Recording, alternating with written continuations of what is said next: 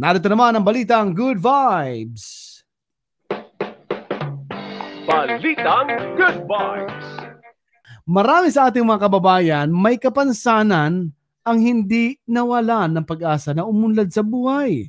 Isa na rito ang crew ng isang fast food chain na ibinahagi ng isang netizen sa kanyang Facebook post.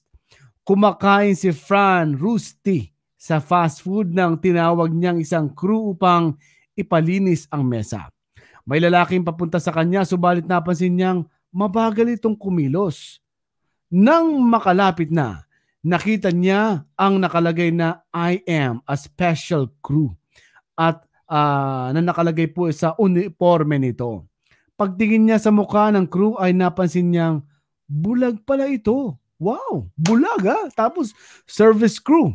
Namangha si Fran at tinanong ang lalaki kung bakit kahit may kapansanan ay nagtatrabaho pa rin siya.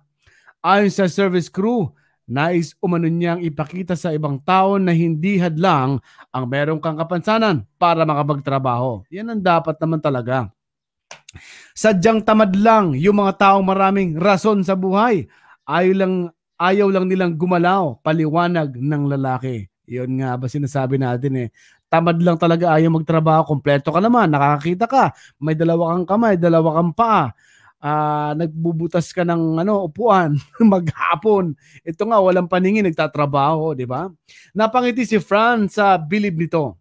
Pinuri rin ng mga netizens ang pagsisikap ng lalaki. Ayon sa kanila, ang ganitong halimbawa ang say ang siyang dapat tularan ng mga kagaya niya. Humanga rin sila sa kabutihang loob ng fast food chain dahil tinanggap nito sa trabaho ang isang PWD. Congratulations sa fast food chain na yan at uh, sa mga tamad, dapat uh, magbago na po kayo para umasenso sa buhay.